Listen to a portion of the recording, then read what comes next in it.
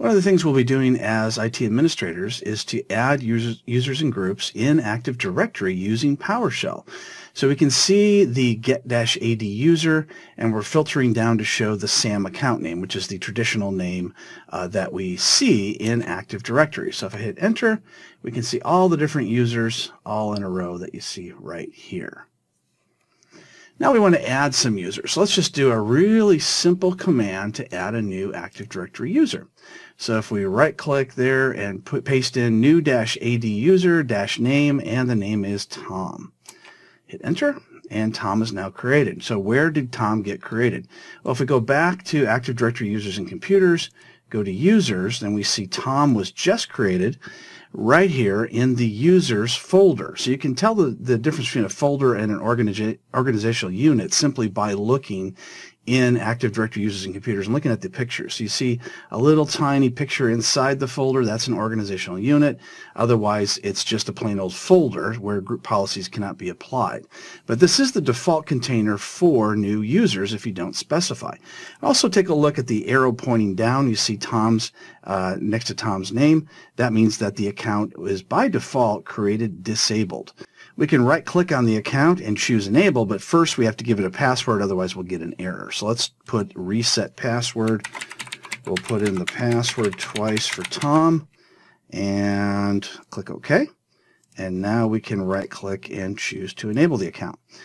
All right, but we can do all that through PowerShell as well. So let's go back down to PowerShell and do a little bit more complex command. Now we're going to create a user named Tammy. So let's paste that command in. So you see new dash AD user dash name Tammy. So, so far it's the exact same command. But now we're adding the dash other attributes uh, portion, and then we have the at symbol followed by these curly brackets. And we're putting in title of, uh, the title is going to be director. So what that means is if we double click on Tammy's name, we're going to see in the title uh, of her properties, we're going to see the name director. And we can do any one of these different ones. So hit refresh. We see Tammy. Double click on Tammy. And we'll go over to organization. And we see job title, director. Look at that, it worked. We could have also put in department, we could have put in company, we could have put in any, one of these different uh, things, the telephone number, home phone number, that kind of thing. So there's uh, different switches for each one of these uh, various different fields that we can fill in. All right, so let's do uh, a little bit more complex. We'll go back to PowerShell once again. And this time we've got a really complex uh, one for you just to give you a good idea of how far you can go with this. So we'll start out with uh, really simple. We'll just right click. We'll choose new AD user John Smith.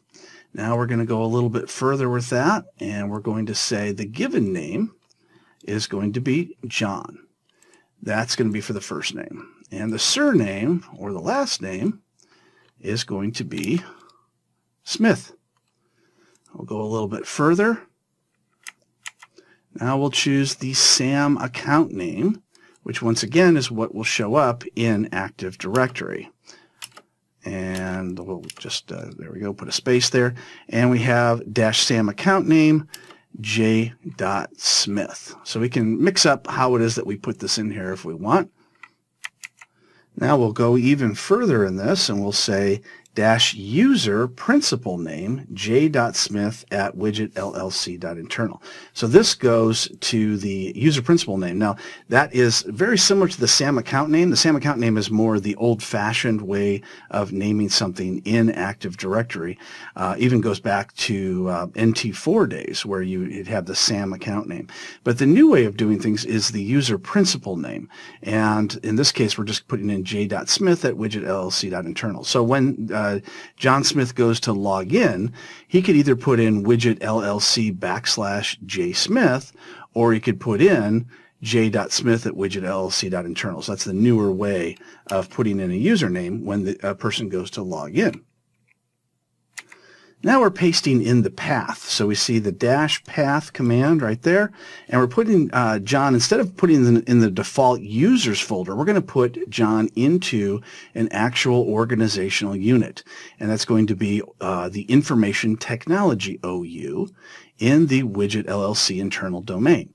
So if we go back to Active Directory users and computers, you can see there is an information technology OU, and that's this is where we're going to be putting John here in just a second. So let's go back up here, and we we are going to add more information in here to make this even more granular. Here we go, account password. We can see the input password, enable true, and uh, that completes. So that, that way this account is going to have a password. Let's go ahead and hit enter. And here's the password. So it's prompting me to put the password in. So I didn't actually put the password into the command string. I just put in the prompt for the password. So I'm putting in password just like that. And now it's done. Now, if we go over to our information technology OU and hit refresh, then we see there's John Smith. Let's go ahead and double click on John Smith and we can see the, it put in the first name, it put in the last name, which is the surname that it showed up. And it gave other information such as the user login name, which uh, is the SAM account name here, j.smith, and the UPN or user principal name is up here. Now in this case we called them the same, but we could have done that, that uh, differently if we wanted to. And then we automatically put that password in. Now by putting in that password, we can see that John Smith is already enabled. I did not have to enable John Smith because we went ahead and put in a password. Without the password, the account is automatically disabled. So let's take a look at that uh, command just one more time. We can see we started with new AD user, John Smith, then the given name, surname, SAM account name, old-fashioned name, followed by the user principal name.